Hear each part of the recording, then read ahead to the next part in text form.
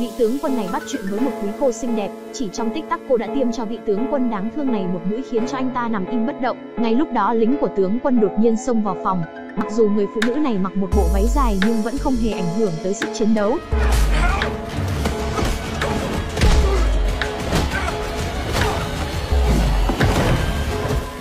Sau đó ta thấy khuôn mặt cô bị dính chút máu, cô bỗng dưng biến thành một người phụ nữ tội nghiệp thành công đi ra khỏi căn phòng đó. Người phụ nữ này tên là Ava, cô ấy là một sát thủ chuyên nghiệp, cô có thể hóa thân thành bất kỳ người nào miễn là phù hợp với nhiệm vụ.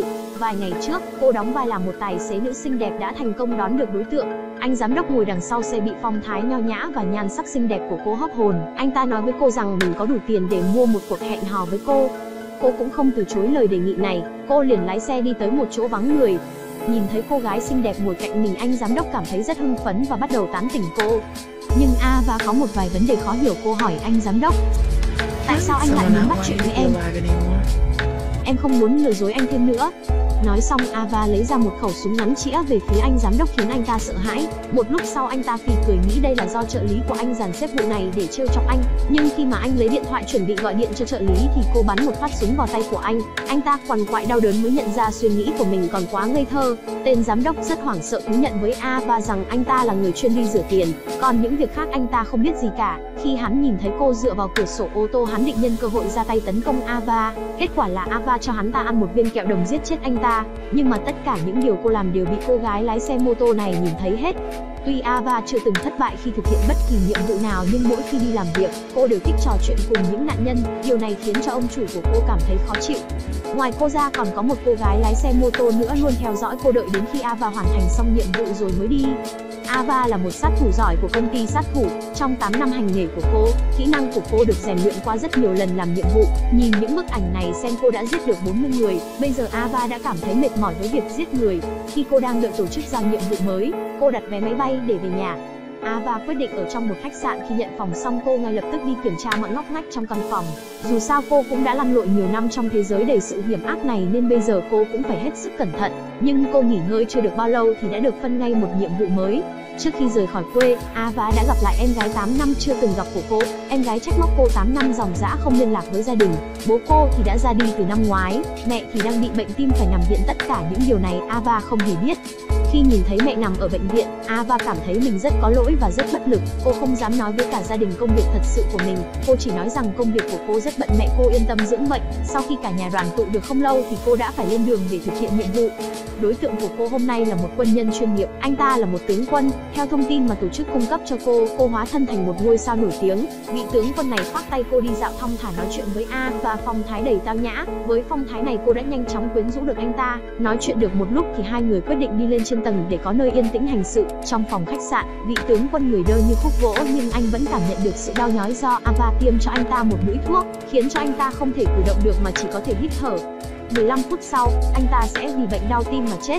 Ava đã ngụy tạo hiện trường giả rất thuần thục, nhiệm vụ của cô lần này rất thuận lợi, sở thích nói chuyện với nạn nhân của cô vẫn không bỏ được. Lúc này ở bên ngoài cánh cửa bỗng nhiên xuất hiện tiếng ồn đó là tiếng của mấy tên phụ tá đi theo tướng quân. Ava cầm ngay lấy những chiếc phi tiêu được đặt gần cổ của vị tướng quân, phi chiếc phi tiêu một lần chúng cả hai tên cô khuyến mãi thêm hai phát súng. Ava bây giờ mới biết tổ chức đã gửi cho cô lời cảnh báo mà cô không biết, vì có một nhân vật quan trọng đã biến mất thế nên hai người lính này thấy có gì đó sai sai mới đến đây kiểm tra tình hình. Vài tên lính khác nghe thấy có tiếng súng bèn đi tới căn phòng để kiểm tra, nhưng có thêm mấy tên này cũng không ảnh hưởng tới khả năng chiến đấu của Ava. Sau một trận đánh nhau tơi bời, cô giành thắng lợi tuyệt đối, nhưng bây giờ trên mặt cô đã có chút máu dính trên mặt thật khó để rời khỏi đây. Vậy là cô một bên gọi những người lính khác một bên giả vờ là người bị thương trong cuộc ẩu đả của mấy tên lính lúc nãy. Sau khi xuống dưới tầng, cô đã dùng đạn khói để làm cho mọi người chạy toán loạn cô thuận lợi chạy thoát khỏi nơi này. Lần làm nhiệm vụ của cô lần này bị mắc sai lầm khiến cho tổ chức nghi ngờ cô. Duke là người thầy của cô đã nói với cô rằng ông không muốn cô nói chuyện với người bị hại nữa. Vụ việc này như là một lời cảnh báo với cô. Nếu không rút kinh nghiệm thì cả hai người sẽ cùng nhau chết. Cô được trả tiền thù lao thực hiện nhiệm vụ rồi thì chỉ cần làm tốt nhiệm vụ được giao.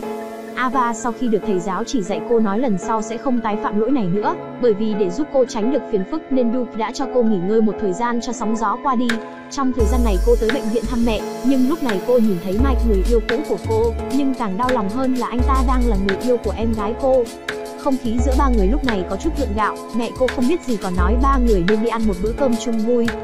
Khi Ava tới nhà hàng cô nhớ lại cô của quá khứ, lúc đó bố mẹ cô hay cãi nhau, bố thì xa ngã mẹ lại bất lực. Cô sống trong gia đình như vậy nên cô cảm thấy kiệt quệ cả về thể xác lẫn tinh thần. Cô đã chìm đắm vào những cơn say để quên đi thực tại, thậm chí vì rượu cô đã giết người. Cô không có cách nào để đối mặt với cuộc sống khó khăn thế này vậy nên cô đã nhập ngũ. Vì cô đã chứng tỏ được bản thân mình là người rất xuất sắc nên được ông Duke để ý. Sau khi xuất ngũ cô được Duke đào tạo thành một sát thủ hàng đầu. Hai năm gần đây cô đã hoàn thành tốt được 41 nhiệm vụ, nhưng ngoài thành công trong công việc thì cô chẳng có ai bầu bạn với mình. Cô ấy đã bối rối và choáng ngợp trong một khoảng thời gian dài. Ở cảnh khác, ông Du tìm được một người đàn ông tên là Simon. Anh ấy đang là người cầm đầu tổ chức và đã từng là học trò của Du. Ông hy vọng Simon có thể bỏ qua lỗi sai này của Ava nhưng anh ta lại cho rằng cô đã nói chuyện cùng các đối tượng suốt 2 năm qua rất có thể cô đã làm lộ ra tung tích của tổ chức và sẽ gây họa lớn về sau. Những hành vi này biến cô thành một quả bom gây nguy hiểm với tổ chức. Nói không xa một ngày nào đó cô sẽ làm bại lộ thân phận của mình. Nhưng được Du nói đỡ vài lời, Simon nói rằng anh ta sẽ bỏ qua việc này cho Ava, nhưng đằng sau anh ta âm thầm sắp xếp con gái của mình cũng là cô gái đi chiếc mô tô đi giải quyết mối nguy hiểm là Ava.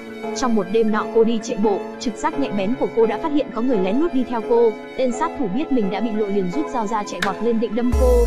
Cô đã chuẩn bị từ trước nên không lâu sau Ava đã vật được anh ta ra đất. Nhưng đã là sát thủ chuyên nghiệp nên võ công nhất định phải rất lợi hại. Hai người đánh nhau rất hăng sau một vài chiêu thì Ava đã nhân cơ hội bỏ chạy. Sát thủ nam lại cầm dao tiếp tục đi tìm cô.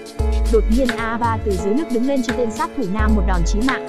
Ngày hôm sau, Ava đến tìm ông Duke để xác minh xem có phải tổ chức phái người đi giết mình không. Duke nói rằng cô yên tâm ông đã đi tìm Simon nói chuyện, anh ta cũng đã nói sẽ bỏ qua cho cô. Ông cũng nói tên sát thủ hôm qua có thể là một binh lính đặc chủng đã giải ngũ của Pháp đang phê ma túy nên muốn xông tới giết cô. Ngoài ra những chuyện khác Duke sẽ giúp đỡ cô vượt qua chuyện này. Một đêm nọ, em gái tới khách sạn tìm cô. Em gái kêu ca với cô là tên bạn trai Mike tối nào cũng đi đánh bạc không về nhà. À, Ava rất chắc chắn nói với em gái rằng để chị xử lý việc này. Thế là cô tìm tới sòng bạc đó. Bà chủ vừa nhìn đã nhận ngay ra cô gái 8 năm trước tới đây uống rượu say bí thì còn nôn lên 7 đến 8 người ở đây. Thời gian trôi qua nhanh thật, đã 8 năm rồi không gặp lại cô. À, cũng không muốn ở lại đây. Cô nói cô đến đây là muốn đưa Mike đi. Bà chủ sòng bạc cũng không nể nang cô nói rằng Mike đã thua rất nhiều tiền cô đừng mong bà thả anh ta đi một cách dễ dàng. Sau đó bà ta gọi những tên đầu gấu cao to để dọa cô, nhưng à, Ava bây giờ không phải là cô gái yếu ớt như cô gái năm xưa nữa. Lúc đánh nhau thì mấy tên đầu gấu này không phải là đối thủ của cô. Sau đó cô dí dao vào cổ của bà chủ sòng bài rồi rời đi khỏi đây. Trận đấu lúc nãy khiến cho Mike rất kinh ngạc, lẽ nào 8 năm thôi đã biến cô trở thành một con người khác hoàn toàn thế này sao? Thực ra, ông Duke đã biết là do Simon phái người đi giết Ava, ông nói với anh ta rằng cậu không cần phải nói một đằng làm một nẻo như vậy. Lần này Simon nói có vài thời điểm chỉ cần dùng những thủ đoạn nhỏ, mà ông cũng không có quyền gì để phản đối những quyết định của anh ta. Nhìn thấy không còn đàm phán được ông rút khẩu súng ra định bắn Simon, thì cô con gái là người chuyên lái mô tô cũng dí súng vào đầu ông. Ông cũng không cần súng, tay không cũng đánh gục được con gái của Simon. Simon nhìn thấy vậy liền lao về phía Duke hai người đánh nhau một trận. Ban đầu thì Simon không phải là đối thủ của ông nhưng do tuổi cao sức yếu nên thua đối thủ, cho nên ông đã rất nhanh tay dùng súng bắn những tên thuộc hạ của Simon, nhưng vẫn bị Simon hạ gục. Sau đó, Simon tay đầy máu chụp ảnh của ông Duke, buộc chặt người ông lại rồi đẩy ông xuống dưới hồ. Tiếp theo, Simon gọi điện thoại cho Ava nói chính hắn đã giết Duke và hẹn gặp cô trong khoảng một tiếng nữa. Hắn gửi cho cô những bức ảnh của ông ấy cô xem ảnh và thấy rất phẫn nộ. Bây giờ cô đã như phát điên, cô tìm Mike và hôn anh ta một cái cô cầu xin anh ta hãy đưa cô đi khỏi đây. Nhưng Mike đã từ chối lời khẩn cầu của cô vì em gái cô đã mang thai rồi. Đến lúc này Ava mới tỉnh mộng. Cô biết là chỉ mình cô mới có thể cứu được cô. Bao nhiêu sự xấu hổ và vô đạo đức Ava đã trải qua rất nhiều sự tổn thương và giờ đây, đầu tiên, cô đi một thân một mình đến chỗ sòng bạc và đuổi hết tất cả các khách ở trong đó. Cô lôi cổ và chủ sòng bạc và nói cho bà ta biết cô là một sát thủ chuyên nghiệp. Bà ta bị cô dọa cho kinh hồn bạt vía nên tin Ava là sát thủ lần sau không dám bắt nạt cô nữa. Cô lấy 800.000 đô la của bà chủ sòng bài đi, giết chết luôn bà chủ. Cô ấy quay về nhà, mở tủ lạnh chứa đầy rượu ra đây là lần đầu tiên sau 8 năm cô uống rượu lại. Cô cất những chai rượu này đi là để lúc trước khi chết cô được uống một lần cho đã đời. Nhưng khi cô dí súng vào họng chuẩn bị tự tử thì cô không thể tự giết chính mình được. Lúc này cô nghe thấy có tiếng mở khóa vào nhà mình, Simon đã tới để giết cô.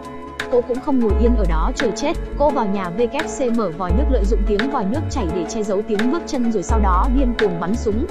Sau khi đã hết đạn, cô dùng tay không chiến đấu với Simon, cô sống chết phải cướp được súng từ tay hắn ta, nhưng anh ta chết cũng không để cô có được súng. Nếu có được súng thì anh ta sẽ cầm chắc cái chết, vì hai người có cùng thầy dạy nên họ rất ngang tài ngang sức đánh nhau bất phân thắng bại.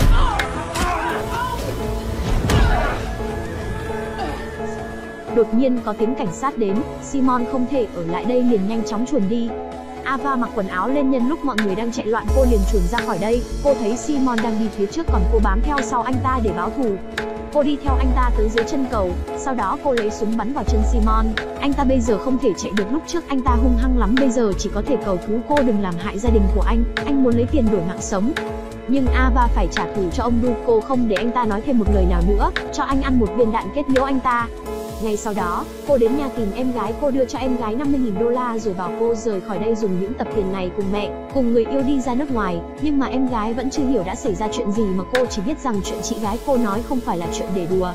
Đến bây giờ, Ava vẫn chưa nói cho em gái biết nghề nghiệp thật sự của mình. Mike đã cầm một bức thư được gửi tới từ tối qua đưa cho Ava. Bức thư là của ông Duke viết cho cô trong thư viết rằng chúng ta không thể khống chế cuộc sống của chúng ta nhưng có thể quyết định được cái kết của nó. Ava sau khi đọc được bức thư đó liền rời khỏi đây, cô quyết định ra khỏi tổ chức, bắt đầu một cuộc sống bình an của một người bình thường.